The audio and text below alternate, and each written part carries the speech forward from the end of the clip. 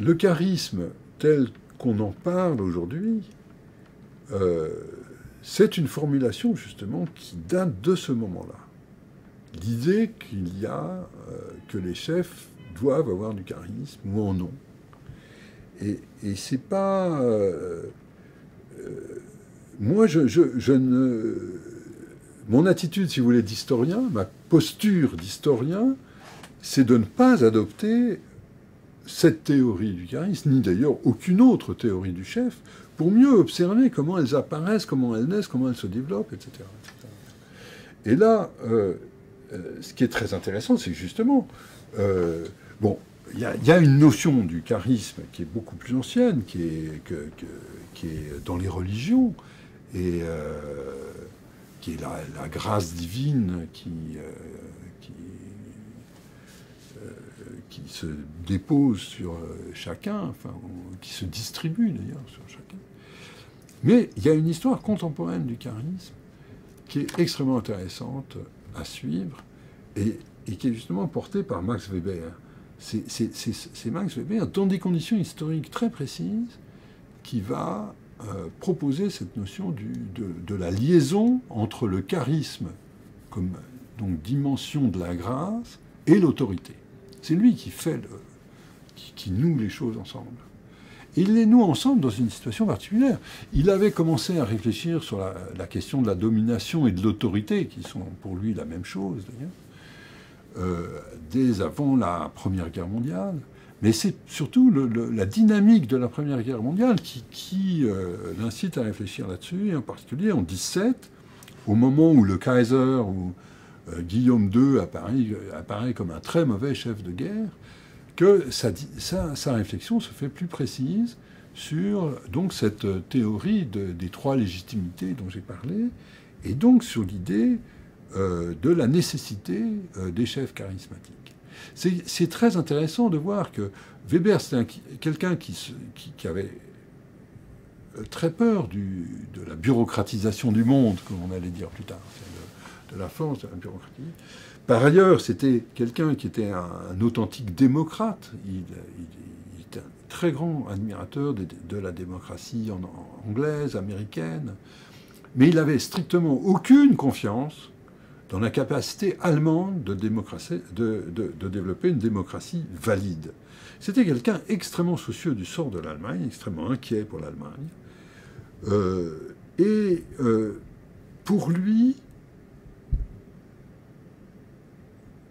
il fallait que le, Parlement soit capable de sélectionner les bons chefs.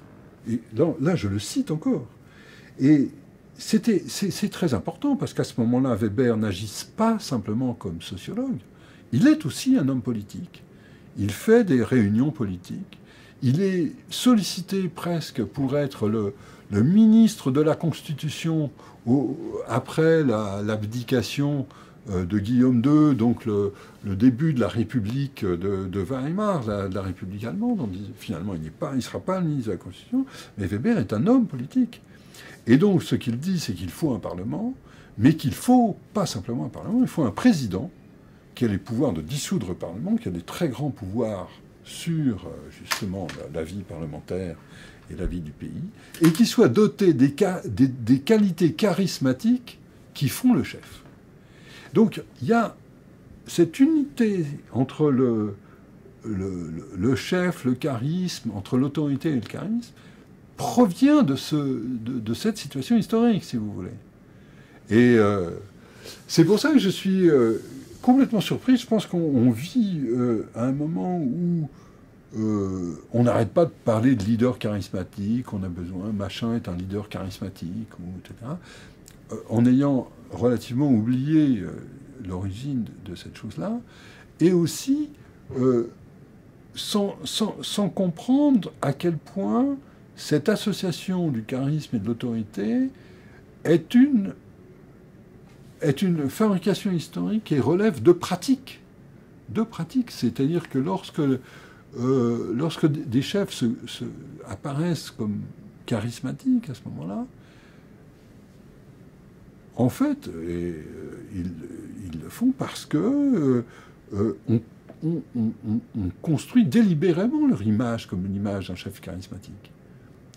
Avec toutes les techniques que vous pouvez imaginer de l'époque, la photographie, la radio, la reproduction des photographies en masse. Je vais vous donner un exemple qui, on n'a pas encore parlé de Hitler, mais il, il s'impose vraiment, puisque on le donne comme le modèle même du chef charismatique. Et les images parmi les plus frappantes de Hitler sont les images où il se montre euh, en, train de s'entraîner à des figures de rage, de, vengeance, de, colère, de dénonciation. Enfin, euh, il y, a toute une série de photographies euh, où on le voit en train, finalement, presque de s'entraîner pour les grands discours qu'il allait faire devant les masses, etc. Or, ces photographies ont été publiées avant même la prise du pouvoir Hitler comme carte postale elles ont été faites par le photographe euh, préféré de Hitler, qui était d'ailleurs un de ses rares euh, amis. Il avait pour ami un photographe. Et c'était donc une entreprise pour créer le charisme d'Hitler. C'est-à-dire qu'on allait, on, faisait croire qu'on allait dans la cuisine de Hitler en le montrant s'entraîner dans, des poses, etc. Donc vous voyez, il y, a, une véritable une fabrication du charisme, euh, qui est en l'occurrence par l'usage des images, hein, et, euh, ou à laquelle participent à la fois les, proches d'Hitler, des spécialistes, des photographes, des spécialistes des médias, ou des, voyez, des, images, etc. Voilà, donc euh, je pense que le d'une certaine manière, le, charisme n'existe pas.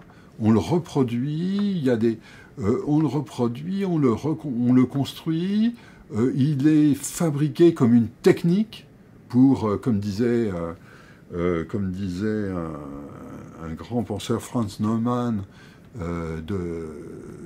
qui a été chassé de l'Allemagne en 1933, il disait que le charisme, c'était une technique pour se sentir faible une technique justement des chefs pour que les autres se, sentent faits.